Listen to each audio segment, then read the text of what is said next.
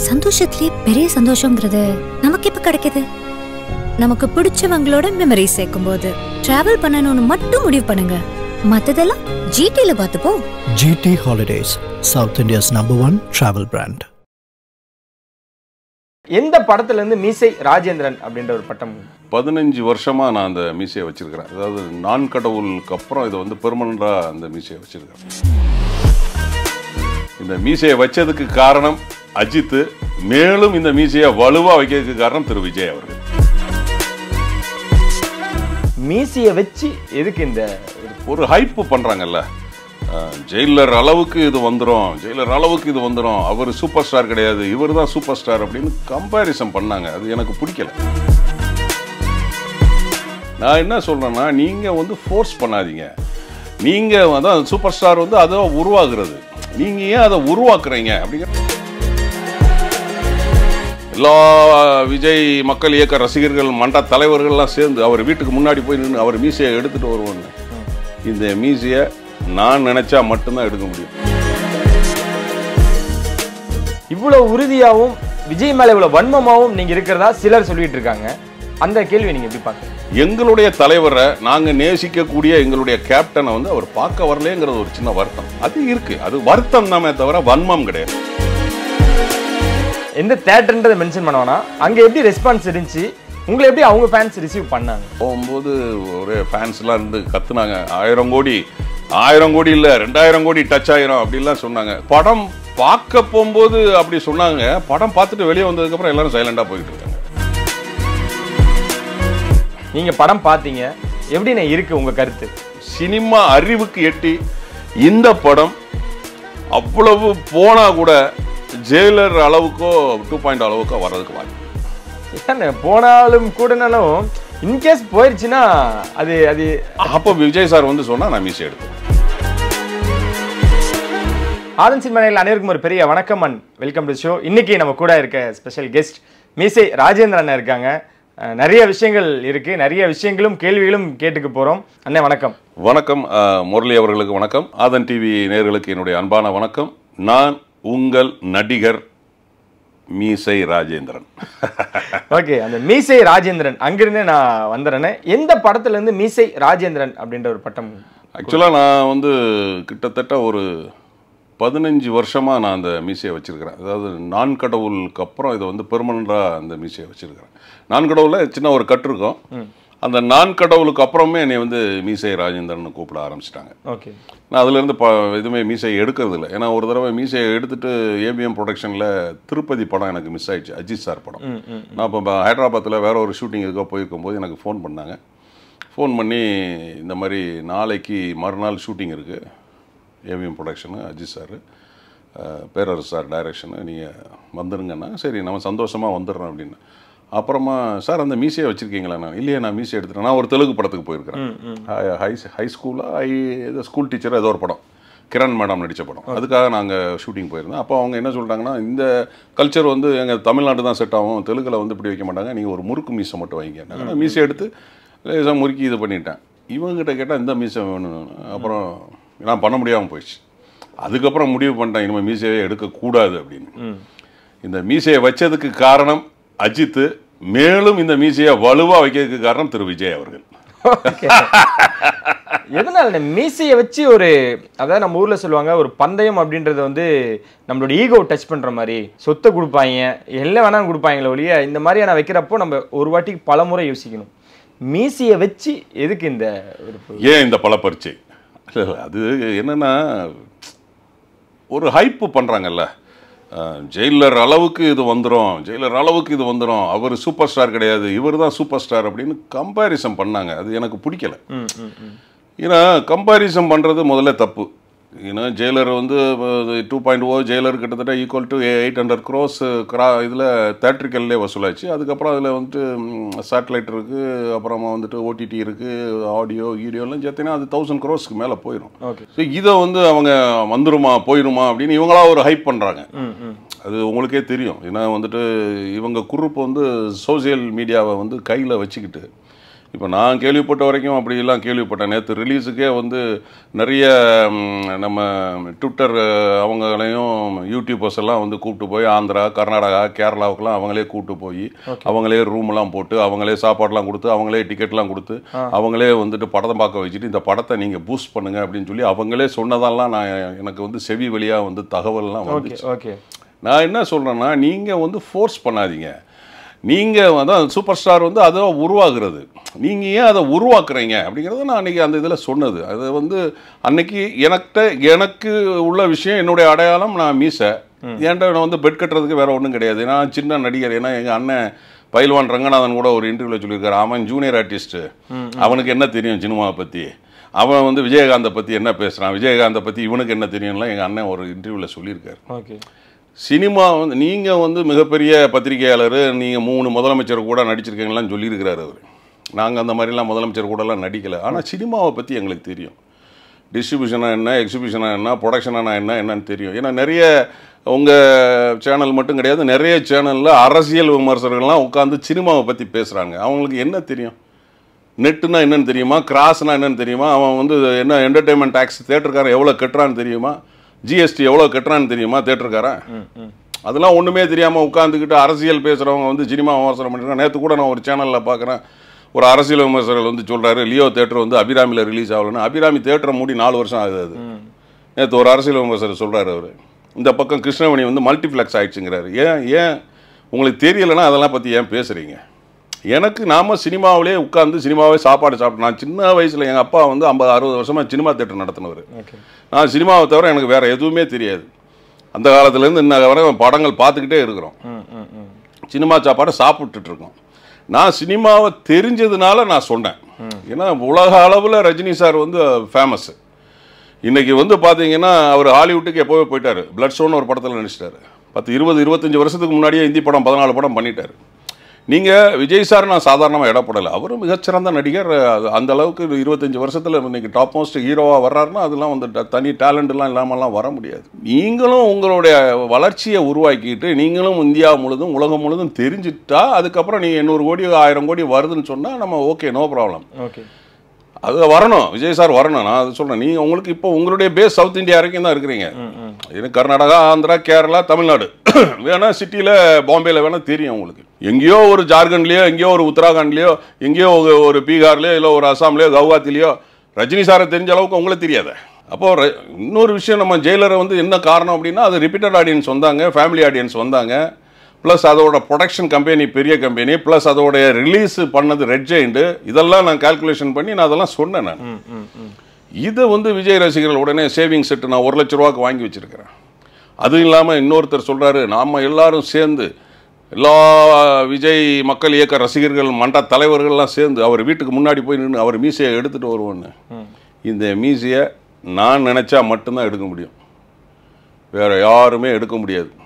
திரு. Vijay sir அவர்கள் இந்த படம் தேட்ரிக்கல் வசூல் 800 கோடி ஆயிடுச்சுன்னு சொல்லட்டும் நான் இந்த மீசையை எடுக்கிறேன். இன்னும் அதில் உறுதியாக இருக்கீங்க? ஹண்ட்ரட் பர்சன்ட் நான் உறுதியாக இருக்கிறேங்க. ஓகே. சார் நான் படம் பார்க்கறதுக்கு முன்னாடி வேற ஒரு கால்குலேஷனில் சொன்னேன். இப்போ படம் பார்த்ததுக்கு அப்புறம் நான் சொல்கிறேன் தப்பே கிடையாது. விமர்சனம் பண்ணுறதுல யாருக்கு வேணாலும் ரைட்ஸ் இருக்கு. நான் நானும் காசு கொடுத்து தான் படம் பார்த்துருக்கிறேன். படம் பார்த்ததுக்கு அப்புறம் சொல்கிறேன் இந்த படம் அந்த அளவுக்கு வசூல் ஆகிறதுக்கு சான்சஸே கிடையாது. ஹண்ட்ரட் பர்சன்ட் நான் அடிச்சு சொல்லுவேன். இவ்வளோ உறுதியாகவும் விஜய் மேலே இவ்வளோ வன்மமாகவும் நீங்கள் இருக்கிறதா சிலர் சொல்லிட்டு இருக்காங்க. அந்த கேள்வி நீங்கள் எப்படி பார்க்குறீங்க? சார் எனக்கும் விஜய் சாருக்கும் பர்சனல் வெஞ்சன்ஸ் எதுவுமே கிடையாது. வாக்கிய தகராறோ வரப்பு தகராறோ எதுவுமே எனக்கும் விஜய் சாருக்கும் கண்டிப்பாக கிடையவே கிடையாது. அது வந்து அதில் உங்களை மாதிரி யூடியூபர்ஸு ட்விட்டரில் சொல்லுவாங்க. அவங்க வந்து விஜய் சார் மேலே கடுப்பாக இருக்காரு. அவர் வந்து விஜயகாந்த் சாருக்கும் ரஜினி சாருக்கும் அஜித் சாருக்கும் ஃபேவராக இருக்காரு. அப்படிலாம் கிடையாது. நான் இது போய் படம் பார்த்தேனே. நான் போய் விஜய் சார் படம் தான் பார்க்குறேன். ஓப்பனிங் ஷோ எப்போவுமே பார்ப்பேன். நேற்று போய் பார்த்தேன் படம் பார்த்தேன். அதனால வந்து நம்ம வெறுப்புலாம் கிடையாது. நான் என்ன சொல்கிறேன்னா கம்பேரிசன் பண்ணாதீங்கன்னு சொல்கிறேன் ஏன்னா ஏன்னா விஜய் சார் கூட நான் ஏழு படம் பண்ணியிருக்கிறேன். இன்ஃபேக்ட் நான் ரஜினி சார் கூட ரெண்டு படம் தான் பண்ணியிருக்கிறேன். சார் கூட நான் ஏழு படம் பண்ணியிருக்கிறேன். சாரோட டேலண்ட் நமக்கு தெரியும். நான் அவர் அவர் பக்கத்தில் நான் ஏணி வச்சா கூட எட்ட முடியாது. சிலர் என்ன சொல்றாங்கன்னா இவர் அவர் பப்ளிசிட்டிக்காக பண்ணுறாரு இல்லை அவர் விஜய் நீங்கள் சொன்ன மாதிரி விஜய் சாரோட வெறுப்பில் பண்ணுறாரு திமுகல காசு வாங்கிட்டாரு. அதனால பண்றாரு. அஜித் சாரோட சொம்பு அப்படி அது அது வேற சொல்லி எல்லாம் நான் அஜித் சார் தப்பு பண்ணாலும் நான் ஏன் தப்புன்னு கேட்பேன் நான். ஆமா.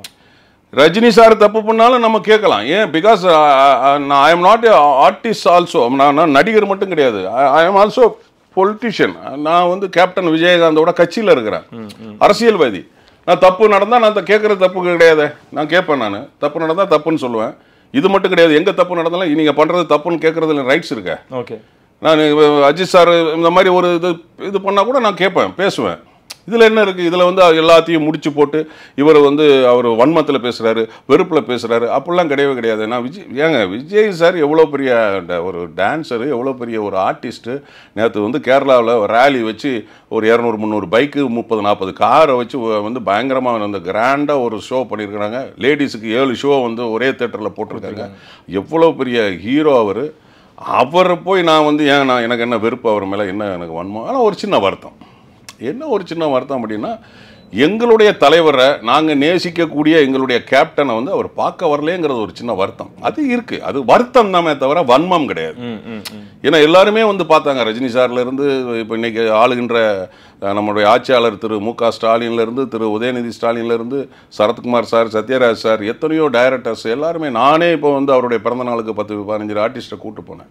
ஸோ அதெல்லாம் வந்து எனக்கு என்னங்க எங்களுக்கு என்னன்னா ஒரு ஏற்றி விட்ட ஏனி கேப்டன் ஒரு வந்து செந்தூர பாண்டிங்கிற ஒரு படத்தில் நடிக்கலைன்னா இன்னைக்கு வந்து விஜய் சாரோ வந்து இவ்வளோ பெரிய ஆர்டிஸ்டாக வந்திருக்க முடியாது. எங்களுடைய கருத்து. இன்னும் ஒரு ஏன்னா விஜய் சாரே இதை என்கிட்ட சொல்லியிருக்கிறாரு. பிஎன்சியில் ரீச் ஆனதுக்கு காரணம் கேப்டன் தான் செந்தூர பாண்டி தான் அப்படின்னு. ஏன்னா தொண்ணூற்றி ரெண்டில் கேப்டன் பிரபாகரன் ரிலீஸ் ஆச்சு. ஆக்ஷன் ஹீரோ நூறாவது படம். அடுத்த படத்தில் சந்திரா பாண்டியில் இவர் சும்மா உட்காந்துட்டு இருப்பார் விஜய் சார் ஃபைட் பண்ணிட்டு இருப்பார் அப்படிப்பட்ட கேப்டனை வந்து பார்க்கலையேங்கிறது ஒரு சின்ன வருத்தம். இப்போ வந்து இந்த இது இன்டர்வியூ மூலமாக அது பார்த்து அவரை வந்து பார்த்தாருன்னா ரொம்ப சந்தோஷம். ஏன்னா அது வரணும். என்னை பொறுத்த வரைக்கும் கேட்டிங்கன்னா விஜய் சார் விஜயகாந்த் சாரை பார்க்க வரணும். எங்களுக்கெல்லாம் அதுதான் ஒரு சின்ன வருத்தம். அது மற்றபடி எங்களுக்கு வந்து விஜய் சார் மேலே வந்து எந்த ஒரு காழ்ப்புணர்ச்சியோ எதுவுமே கிடையாது. ஏன்னா போன ஆகஸ்ட் பதினேழாம் தேதி அண்ணன் திருமாவளவன் விடுதலை சிறுத்தைகள் கட்சி தலைவர் அவருக்கு பிறந்த நாள். அவருக்கு வாழ்த்து சொல்றாரு. அதுல இருந்து ஒரு வாரம் கழிச்சு கேப்டனுக்கு பிறந்த நாள். ஒரு வாழ்த்து சொல்லியிருக்கலாமே.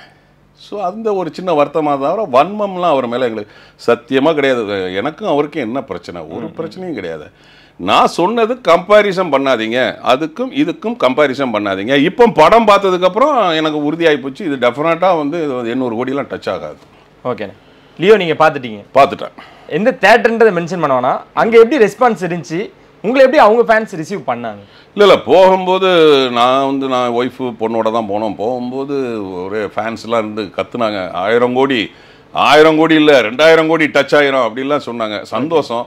டச் ஆகட்டும் அப்படின்னா எல்லாருமே வந்து சூழ்ந்துட்டாங்க. அதுக்கெல்லாம் வந்துட்டு அந்த தேட்டர் எம்டி எல்லாம் போலீஸ்லாம் வந்தாங்க. வந்து என்னை கூப்பிட்டு போயிட்டாங்க. ஸோ படம் பார்க்க போகும்போது அப்படி சொன்னாங்க. படம் பார்த்துட்டு வெளியே வந்ததுக்கப்புறம் எல்லாரும் சைலண்டாக போய்கிட்டு இருக்காங்க. ஓகே உங்களை பார்த்து அமைதியா தான் போறாங்க. ஆமா ஆமா அவங்க நினைச்சிருப்பாங்க இவர் சொன்னது ஒருவேளை உண்மையா ஆயிருமோ அப்படின்னு நினைச்சிட்டு போயிருப்பாங்க. படம் பார்க்கும்போது அப்படியே வெறித்தனமா இருந்தாங்க. ஓகே படம் பார்த்து முடிச்சோன்னா ஆஃப் ஆயிட்டாங்க. நீங்க படம் பார்த்தீங்க. எப்படிண்ணே இருக்கு உங்க கருத்து? உண்மையை சொல்லணும்னா சினிமா பேட்டர்னில் ஒரு டிஃப்ரெண்ட்டாக வந்து கொண்டு வந்தார் திரு லோகேஷ் கனகராஜ். சினிமாவே தெரியாமல் பேங்கில் வேலை பார்த்துட்டு கோயம்புத்தூர்லேருந்து வந்துட்டு. ஏன்னா நாங்கள்லாம் பேசிக்காக சினிமாக்காரங்க. சினிமாக்காரங்க சினிமா ஃபேமிலினே சொல்லலாம். ஏன்னா நாங்கள் சினிமா தேட்டர் வச்சுருந்தோம். அப்போல்லாம் ஐம்பத்தஞ்சு வருஷம் அறுபது வருஷம் சினிமா தேட்டர் வச்சவர். அதனால் நம்ம சினிமா ஃபேமிலின்னு சொல்லலாம். அப்புறம் நம்ம வந்து சினிமாவில் வேலை பார்த்தோம். டிஎஃப்டி டைரக்ஷன் படித்தோம். சினிமாவில் வேலை அசிஸ்டன்ட் டைரக்டர் அசிஸ்டன்ட் கேமராமேனாக எல்லா வேலைகளை பார்த்து ஒரு படங்கள் நடித்து இப்போ இரநூத்தி முப்பத்தேழு தமிழ் படம் தெலுங்கு தமிழ் தெலுங்கு மலையாளம் கன்னடம் ஹிந்தி அஞ்சு லாங்குவேஜில் இரநூத்தி முப்பத்தேழு படம் பண்ணியிருக்கிறேன். ஒரு நாற்பத்தி நாலு சீரியல் பண்ணியிருக்கிறேன். ஒரு பதினாலு ஆடு பண்ணியிருக்கிறேன். ஸோ நாம் வந்து cinema family but Lokesh sir வந்து சினிமாவே தெரியாமல் மாநகரம் அப்படின்னு ஒரு நல்ல சிறப்பான ஒரு திறமையான ஒரு படத்தை கொடுத்தார். சென்னையில் நடக்கிற விஷயங்களை வச்சு ஒரு படம் சிறப்பாக கொடுத்துருந்தார். ரெண்டாவது படம் கைதி. அதுவும் சிறப்பு நல்ல படம். அதில் வந்து பார்த்தீங்கன்னா படம் வந்து லாஜிக்கு நிறைய மிஸ்டேக் இருக்கும் பட் போகிற ஸ்பீடில் ஸ்க்ரீன் பிளேல அந்த இதெல்லாம் தெரியாது. ஸோ அப்படி தொடர்ந்து அவர் வந்துட்டு மாஸ்டர் எடுத்தார். அதுவும் வந்து ரெண்டு ஆர்டிஸ்ட் மிகப்பெரிய ஆர்டிஸ்ட்டு சவுத் இந்தியாவில் அடுத்து வந்து விக்ரம்னு இந்தியாவிலே பெரிய ஆர்டிஸ்ட் திரு கமல் சார் அடுத்து இப்போ அஞ்சாவது படம். ஸோ அவருக்குன்னு ஒரு ஸ்டைல் வச்சுக்கிட்டார். என்ன எல்சியூ அப்படின்னு. நான் இந்த படத்தை நேற்று எல்சியூ படத்தை பார்த்துட்டு ஐசியூக்கு போகணுமோ அப்படிங்கிற ஒரு எண்ணத்துக்கு நான் வந்துட்டேன். ஏன்னா தலைவலி வந்துச்சு. ஓகே. நான் வந்து என் பொண்டாட்டி கூட சொன்னான் முந்தின நாள் நைட்டு எனக்கு தலை வலிக்குது டேப்லெட் போட போகிறேன் இன்னைக்கு போடாத நாளைக்கு லியோவை பார்த்துட்டு ரெண்டு டேப்லெட்டாக போடு அப்படின்னா. இது சத்தியம். படம் பார்க்கறதுக்கு முன்னாடியே ஆமாம் சத்தியம். எனக்கு எனக்கு தெரியும் ரிசல்ட் எனக்கு வந்துச்சு. ஏன்னா நமக்கு சென்சாரில் வந்து ஃப்ரெண்ட்ஸ் சொன்னாங்க. அது போக வந்துட்டு நிறைய சொன்னாங்க. அது அந்த நிறைய ரீஷூட் பண்ணியிருக்கிறாங்க எடிட்டிங் ஷஃபில் பண்ணியிருக்கிறாங்க. என்னென்ன நம்ம சினிமாவில் தானே இருக்கிறோம். அது சினிமா வந்துரும்ல. செய்திகள் வந்து நமக்கு வந்துரும்ல. எடிட்டிங்கே வந்து ரெண்டு தடவையோ மூணு தடவையோ ஆல்டரே மாற்றிருக்கிறாங்க ப்ளஸ் வந்து ரீஷூட் பண்ணியிருக்கிறாங்க. அந்த ஜார்ஜோட சீன்ஸ் எல்லாம் வந்து ஷூட் பண்ணியிருக்கிறாங்க. அதெல்லாம் உள்ளே கொண்டு வந்திருக்கிறாங்க. அப்படிங்கிறதெல்லாம் தகவல். ஓகே நம்ம காது வழியே வந்த செய்தி. லோகேஷ் சார் வந்து மிக சிறந்த டைரக்டர் அதில் மாற்று கருத்தே கிடையாது. ஆனால் என்ன அப்படின்னா இந்த படத்தை பொறுத்த வரைக்கும் எனக்கு வந்து என்னுடைய கணிப்பு நான் வந்து படம் பார்க்கறதுக்கு முன்னாடி நான் வேற ஒரு கால்குலேஷனில் இருந்தேன். அது வந்து because of Rajini sir because of production because of distributor அந்த இதை வச்சு நான் சொன்னேன். பட் படம் பார்த்ததுக்கப்புறம் காசு கொடுத்து பார்த்துருக்கோம் நம்ம நம்மளுடைய கருத்தை தைரியமாக சொல்லலாம். படத்தில் வந்து நான் என்ன சொல்கிறேன்னா நாங்கள்லாம் படித்த சினிமா எப்படின்னா ஒரு மெசேஜ் சொல்லணும் படத்தில். பட் இதில் வந்து அவர் சொல்கிறாரு என்ன சொல்கிறாருன்னா நான் ஒரு பழைய வாழ்க்கையை மறந்து புதுசாக ஒரு வாழ்க்கைக்கு வந்து பொண்டாட்டி பிள்ளையோட நான் வந்து வாழணும்னு நினைக்கிறேன். அப்படிங்கிற மாதிரி ஒரு இது சொல்ல வர்றாரு.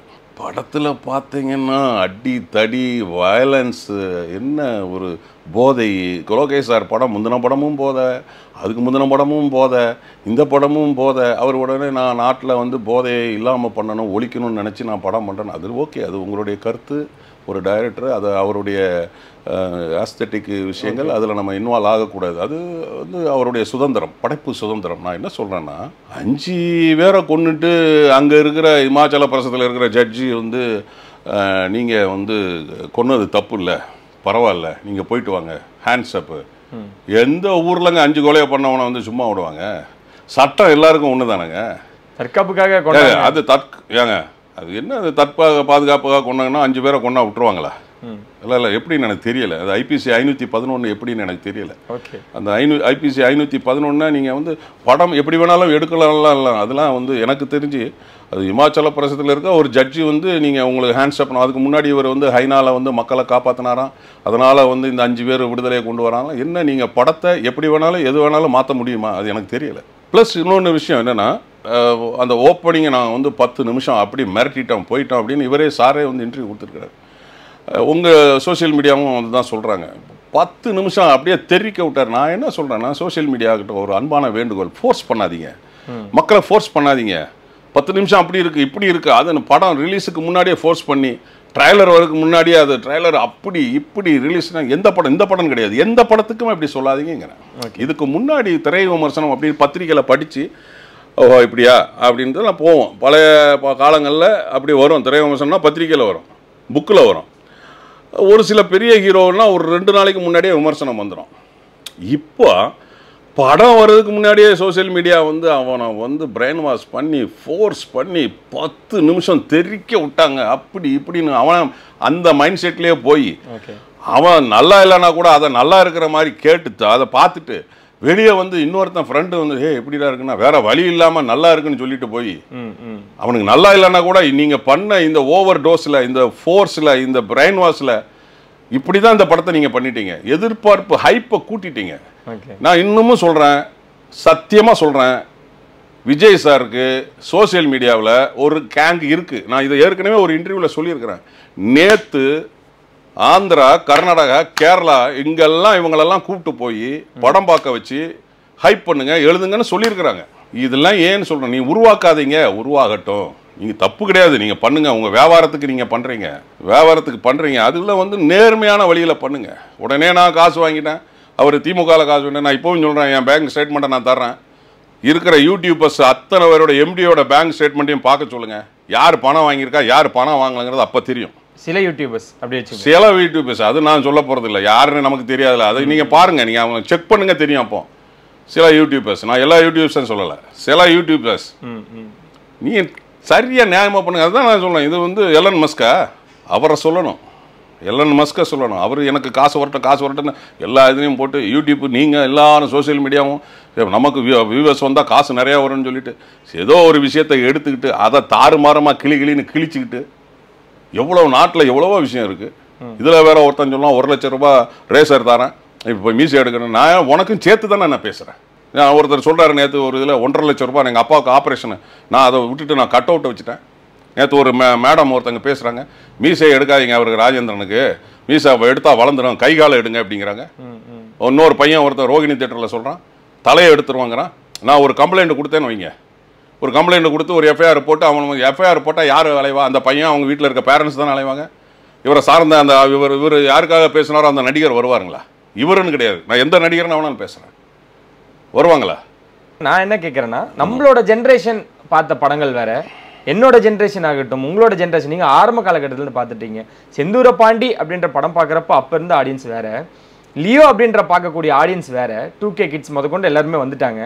அவங்க ரசனைக்கு நம்ம இல்லையோ அப்படின்னு நம்ம எடுத்துக்கலாமா? இன்னும் சொல்லணும்னா இந்த படத்தை ரசிக்க தெரியலனா ஒரு பூமர் அப்படின்ற மாதிரிலாம் அப்படி சொல்ல முடியாது. இல்லையா. இப்போ ஏன் நான் நேற்று நானும் என் ஒய்ஃபு என் பொண்ணு போனோம்.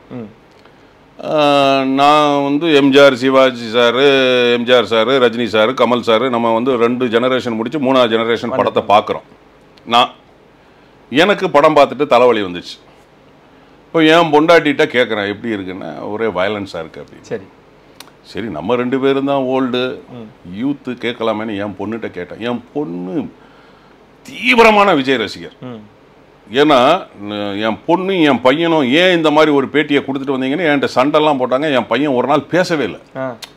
இந்த படம் ஜெயிலருக்கும் லியோவுக்கும் இந்த மாதிரி ஒரு பேட்டியை நீங்கள் கொடுத்துட்டு வந்துட்டீங்க போயிட்டீங்க. விஜய் அண்ணா வந்து எப்படி அண்ணா பெரிய அவர் வந்து அப்படி இப்படிலாம் எனக்கு கூட பேசவே இல்லை. சரி. அப்போ நான் சரி இவங்க இவ்வளோ தீவிர ரசிகராக இருக்கானே என் பொண்ணு பயங்கரமான ரசிகர். ஏன்னா நான் ரெண்டு பேரையும் நான் வந்து விஜய் சார் வந்து திருப்பாச்சி படம் நடிக்கும்போது நான் ரெண்டு பேரையும் கூட்டு போய் சார் கூட நான் பேச வச்சுருக்கிறேன். நான் சார் கூட எங்கே அப்போ நடந்ததுன்னா இங்கே எங்கேயோ ஒரு வீட்டில் நடந்துச்சு. மவுண்ட் ரோட்டில் தான் இங்கே ஒரு இடத்துல. கிளைமாக்ஸ் அந்த ஃபைட்டு வந்து. அப்போ நான் என் நைட்டு ஒரு ஏழு எட்டு மணி இருக்கும் ஏழு மணி இருக்கும். நான் என் பையனையும் என் பொண்ணையும் கூப்பிட்டு போனேன். அப்புறம் என் என் பையனுக்கும் பொண்ணுக்கும் ஆட்டோகிராஃப்லாம் போட்டு கொடுத்தாரு. அப்போல்லாம் வந்து சின்ன பசங்க. தீவிரமான ரசிகர். இப்போவும் அது அப்படி தான் இருக்காங்க. நேற்று என் பொண்ணுகிட்ட கேட்டேன். படம் பா எப்படிப்பா இருக்கு? அப்படின்னா "இது படம் பிடிக்கல. ஸோ இப்போ உள்ள யூத்து சரியா? நீ சொன்ன மாதிரி டூ தௌசண்ட் கிட்ஸ் கிடையாது. Two thousand twenty kids okay ஓகேவா அப்போ அவங்களுக்கு பிடிக்கலல்ல. பிடிச்சதுன்னா பிடிச்சதுன்னு சொல்ல போகிறாங்க நான் என்ன சொல்கிறேன் நீங்கள் இது என்னுடைய கருத்து நான் சொல்கிறேன் இதோட first hero Anbu Arivu master fight master ரெண்டாவது ஹீரோ அனிருத். மூணாவது ஹீரோ விஜய் சார் என் கருத்து கணிப்பு. நான் வந்து நான் படம் பார்த்த வரைக்கும் சொல்கிறேன் நாலாவது தான் லோகேஷ் கனகராஜ் சார் இந்த படம் இவ்வளவு விமர்சனமானதுக்கு விஜய் காரணமா லோகேஷ் காரணமா? உங்களோட பார்வையில். சார் நான் வந்து விஜய் சாரை நடிகரை வந்து தப்பு சொல்ல மாட்டேன். சரி. ஏன்னா டைரக்டர் என்ன முடிவு எடுக்கிறாரோ அதுதானே. இப்போ அவரோட தடையில் இல்லை அப்படின்னு நீங்க எடுத்துக்கிறீங்க. இருக்கலாம். அது வந்து ஒரு சில இடங்கள்ல இருந்திருக்கலாம். அது எனக்கு இப்போ தோணுது என்ன தோணுதுன்னா அப்போ விக்ரம் படத்தில் கமல் சார் வந்து இன்வால்மெண்ட் ஆயிருப்பாரோன்னு இப்போ எனக்கு தோணுது. ஸோ விக்ரம் படம் பண்ணும்போது கமல் சார் ஃபுல் இன்வால்மெண்ட்டில் உள்ளே இருந்து பேசி வச்சு பண்ணியிருப்பாரோன்னு இப்போ எனக்கு தெரியுது. அந்த சக்ஸஸ் காரணம் கமல் அவர்கள் அப்படின்றீங்க ஃபிஃப்டி பர்சன்ட் இல்லை தேர்ட்டி பர்சன்ட் இல்லை ஃபார்ட்டி பர்சன்ட் இல்லை டுவெண்ட்டி பர்சன்ட் இருக்கலாம். இருக்கலாம். இப்போ சொல்கிறீங்களா நீங்கள் தேட்டரில் எயிட்டி டுவெண்ட்டின்னு ஏங்க எண்பது பர்சன்ட் உங்களுக்கு கொடுத்துட்டு தேட்டரை வச்சுட்டு இருக்கோம் இருபது பர்சன்ட் நான் எங்க எப்படிங்க டேக்ஸ் கட்டுவான்? எப்படி என்டர்டைன்மெண்ட் டேக்ஸ் கட்டுவான்? எப்படி வந்து ஜிஎஸ்டி கட்டுவான். எப்படி அவன் கேளிக்கை வரியெல்லாம் கட்டுவான்? என்ன நீங்கள் வந்து இருபது பர்சன்ட் எங்களுக்கு எண்பது பர்சன்ட் அவங்களுக்கு? அப்போ நீங்கள் வந்து இந்த எண்பது பர்சன்ட் கேட்கறதுக்கு காரணம் என்ன? இப்போ ஜெயிலர் அளவுக்கு நீங்கள் பீட் பண்ணணுங்கிறதுக்காக தான் நீங்கள் கேட்குறீங்க. ஓகே. அது எப்படி நாலு நாள் அதானே சென்னையிலலாம் இழுத்துட்டு கிடந்தது? ஆ அப்புறமா அறுபத்தஞ்சு முப்பத்தஞ்சு முடிஞ்சிருக்குன்னு சொல்கிறாங்க நமக்கு தெரியாது. அது முடிஞ்சிருக்குன்னு சொல்கிறாங்க அது அவங்களுக்கு தான் வெளிச்சம் அது. கண்டிப்பா. இப்போ விக்ரமோட சக்ஸஸுக்கு கமல் அவர்களோட இன்வால்மெண்ட் இருக்கலாம். இப்போ இந்த படம் பார்க்கும்போது எனக்கு தெரியுது. ஓகே. அப்ப கைதியை பொறுத்த வரைக்கும் லோகேஷ் அது ஃபுல் அண்ட் ஃபுல் அவர் டைரக்டர். இப்போ கை மாநகரமாகட்டும் கைதியாகட்டும் மாஸ்டர் ஆகட்டும் அது அவருடைய ஃபுல் கைங்கரியம் இருக்கலாம்.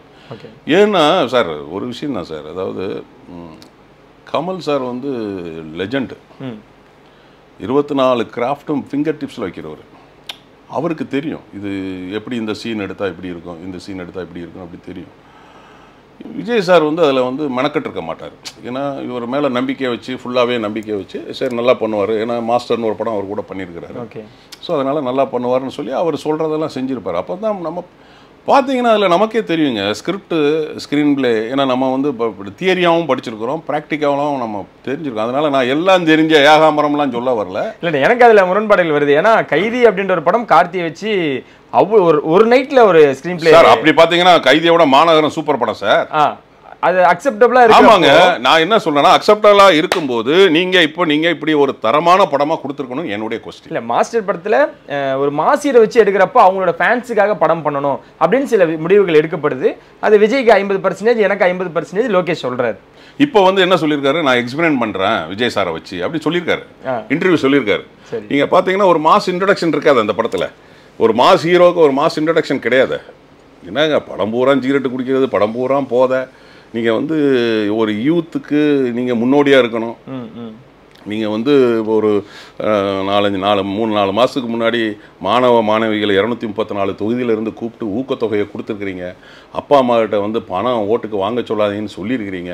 நீங்கள் அப்படிப்பட்ட ஒரு ஹீரோ வந்துட்டு சீரட்டை குடிச்சிக்கிட்டே இருந்துக்கிட்டு அப்புறமா வந்துக்கிட்டு போதை இல்லாதல சொல்லிக்கிட்டு அதெல்லாம் நீங்கள் சமுதாயத்தில் நீங்கள் ஒரு வழிகாட்டி. சரியா? நீங்கள் உடனே சொல்லுங்க இப்போ விஜயகாந்த் வந்து அந்த மாதிரி நடிக்கலையான்னு சொல்லி கேட்பீங்க விஜயகாந்த் சார் வந்து எந்த படத்துலையாவது கெட்ட வார்த்தையில் பேசியிருக்கிறாரா? நீங்கள் வந்து அன்னைக்கு அந்த ட்ரைலரில் ஒரு கெட்ட வார்த்தையை போட்டதுனால இன்னைக்கு செட்பேக் நிறைய ஆயிடுச்சு. அது உங்களுக்கு தெரியுமோ தெரியாதோ ஃபேமிலி ஆடியன்ஸ் நேற்று நான் படம் பார்க்குறேன் மொத்தத்தில் நாலஞ்சு ஃபேமிலி தான் இருக்கிறாங்க. ஓகே. அது உடனே வந்து நேற்று ஒரு லேடிஸ் கூட சொல்கிறாங்க கெட்ட வார்த்தையில் பேசுகிறதுல என்ன தப்பு இருக்குது அந்த சீக்வன்ஸுக்கு அந்த சீனுக்கு அதை பேசியிருக்கலாமே தப்பு இருக்கே. அது என்ன தப்புன்னு ஒரு லேடிஸ் வந்து நேற்று ஒரு பேட்டியில் கொடுக்குறாங்க. நீங்கள் உங்கள் வீட்டில் நீங்கள் பேசுவீங்களா? உங்கள் பையன்டையோ உங்கள் பையன் உங்களையோ நீங்கள் உங்கள் பையனையோ உங்கள் அப்பா உங்கள் வீட்டுக்காரர் உங்கள் பையனையோ இல்லை உங்கள் வீட்டுக்காரர் உங்களையோ பேசுனா நீங்கள் சும்மா விடுவீங்களா? இல்லை. இப்போ வந்து ஒரு ஒரு சமுதாயத்துக்கு நீங்கள் வந்து ஒரு வழிகாட்டியாக இருக்க போகிறீங்கன்னு வேறு சொல்லிக்கிறீங்க. அரசியலில் நாங்கள் வரப்போகிறோம்னு சொல்கிறீங்க ப- ப- பணம் வாங்காதீங்கன்னு சொல்கிறீங்க அப்போ நீங்கள் எப்படி வந்து ஒரு சமுதாயத்தில் நீங்கள் இப்போ நான் ஒரு சின்ன நடிகர் நான் ஒரு சீரியலில் நடிக்கிறேன். சீரியலில் எனக்கு ஒரு டயலாக் வந்து பிடிக்கலன்னா நான் டைரக்டர்கிட்ட போய் கேட்பேன் சார். ரெக்வஸ்ட் பண்ணுவேன். சார் இந்த டயலாக் கொஞ்சம் இதாக இருக்குது சார். வேண்டாம் சார் நான் அதுக்கு மாற்றி வேற ஒரு டயலாக் நான் போடட்டுமா சார்? நான் கேட்பேன் நான். அப்படியா? சரி போட்டுக்குங்க அப்படிம்பாரு. நானே கேட்கும்போது விஜய் சார் அந்த இடத்துல கேட்டிருக்கலாமே. ஏன்னா நீங்கள் ஒரு சமுதாயத்துக்கு வழிகாட்டி. இன்னும் வழிகாட்ட போகிறேன் அரசியல் ஆரம்பிக்க போகிறேன் தலைவராக போகிறேன் நான் ஆட்சியை பிடிக்க போகிறேன்லாம் சொல்லிக்கிட்டு இருக்கிறீங்க. அப்போ நீங்கள் அதை வந்து கொஞ்சம் அவாய்ட் பண்ணியிருக்கலாமே என் கருத்து. சரியா? நீங்கள் டைரக்டர் சார் சொன்னால் கூட அதை நீங்கள் அவாய்ட் பண்ணியிருக்கலாமே ஓகே. சரியா? இப்போ இப்போ இந்த இந்த சின்ன ஒரு விஷயத்திலே உங்களுக்கு என்ன தெரியுது? அப்போ எல்லா டிசிஷனும் டைரக்டர் தானே எடுத்திருக்காருன்னு தெரியுது. இதுக்கான காரணம் லோகேஷ் அப்படின்றீங்க. நான் டைரக்டாகவே அங்கே வந்துடுறேன் இந்த படம் நேத்து முதல் நாள் வசூல் மட்டும் நூறு கோடி மேலே தாண்டிடுச்சு. அதை நீங்கள் அக்செப்ட் பண்ணிக்கிறீங்களா? நீங்கள் இந்த ஃபர்ஸ்ட் டேவோட ஹைப் இப்போ வந்து இப்போ செகண்ட் டே வந்து இருக்கிறதுக்கு வாய்ப்பு இல்லை. இந்த படத்தை பொறுத்த வரைக்கும். என்னுடைய கணிப்பு. இல்லை புக் ஆயிடுச்சு. ஃபுல் ஆயிடுச்சுங்களா ஆறு நாளைக்கும் சார் அப்படின்றப்போ ஆறு நாளைக்கு வந்து உங்களுக்கு வந்து தமிழ்நாடு முழுதும் புக் ஆயிடுச்சா? சிட்டியை மட்டும் வரைக்கும் நீங்கள் சொல்லாதீங்க. தமிழ்நாடு முழுவதுமே ஆறு நாளைக்கு கிட்டத்தட்ட ஹவுஸ்ஃபுல் ஆயிடுச்சு சரி ரைட் ஓகே அப்படியே நீங்கள் தமிழ்நாடு முழுதும் எல்லாமே ஹவுஸ்ஃபுல் ஆகி அவங்களுக்கு பணம் வந்தால் கூட என் கணிப்புப்படி ஒரு எண்பது கோடி ரூபா வரும். தொண்ணூறு கோடி ரூபா வரும். சரியா? நெட்ஃப்ளிக்ஸு நூற்றி இருபத்தஞ்சி சாலிடால் உள்ள அமௌண்ட்டு பதினஞ்சு சோனியில் ஆடியோ ரைட்ஸு நூற்றி இருபத்தஞ்சி நூற்றி நாற்பது இது ஒரு தொண்ணூறு இரநூத்தி முப்பது கோடி. இந்த ஓவர்சீஸும் அதர் சைட்ஸும் என்ன வந்துட போகுது உங்களுக்கு? செகண்ட் வீக்கு உங்களுக்கு ஜெயிலர் மாதிரி இந்த படம் ஸ்டாண்ட் ஆகணும். ரிப்பீட்டட் ஆடியன்ஸ் வரணும். ஃபேமிலி ஆடியன்ஸ் வரணும். அதனால் இப்போ நம்ம எதுவுமே சொல்ல முடியாது. புதன்கிழமை தான் இதோட இதோட கருத்து கணிப்பாக கரெக்டாக சொல்ல முடியும். ஓகே வர்ற புதன்கிழமை இருக்குது பார்த்தீங்களா அன்னைக்கு தெரியும் இப்போ லீவு புதன்கிழமையில வந்து டியூட்டி அவன் வேலைக்கு போயிடும் வச்சிருவான். இந்த இந்த புதன்கிழமைக்கு மேலே உங்களுக்கு வந்து அது கருத்து கணிப்பு சாலிடாக சொல்லலாம். அப்படி இருந்தாலும் என்னுடைய சினிமா அறிவுக்கு எட்டி இந்த படம் அவ்வளவு போனால் கூட ஜெயிலர் அளவுக்கோ டூ பாயிண்ட் அளவுக்கோ வர்றதுக்கு வாய்ப்பு இல்லை. ஏன்னு போனாலும் கூடனாலும் இன்கேஸ் போயிடுச்சுன்னா அது அது அப்போ விஜய் சார் வந்து சொன்னால் நான் மீசி எடுத்துடுறேன். அப்பயும் விஜய் சார் வந்து சொல்லணும். ஆமாங்க. இல்லைன்னா லலித் சார் சொல்லட்டும் கணக்கை காட்டட்டும் எண்ணூறு கோடி வசூலாயிட்டுன்னு எல்லா சேர்த்து எண்ணூறு கோடி வரட்டும் நான் சத்தியமாக காலில் விழுந்து நான் மீசி எடுக்கிறேன். இப்போவும் நான் சொல்கிறேன் சரி. அதுக்கு வாய்ப்பு கிடையாது. உங்களுக்காக ரெண்டு ட்ரிம் வச்சிருக்கேன். சூப்பரு அந்த மாதிரியான விஷயங்கள்லாம் சார் நான் இப்போவும் சொல்கிறேன் சார். நீங்கள் வந்து படத்தில் வந்து நான் லியோ கிடையாது. பார்த்திபன் பார்த்திபன் பார்த்திபன் பார்த்திபன் சொல்லிட்டு கடைசியில் லியோன்னு சொல்கிறீங்களா நான் இப்போவும் சொல்கிறேன் நான் ராஜேந்திரநாத் கிடையாது ராஜேந்திரநாத் கிடையாது. மீசை ராஜேந்திரன் மீசை ராஜேந்திரன் மீசை ராஜேந்திரன். போங்க அவ்வளோதான்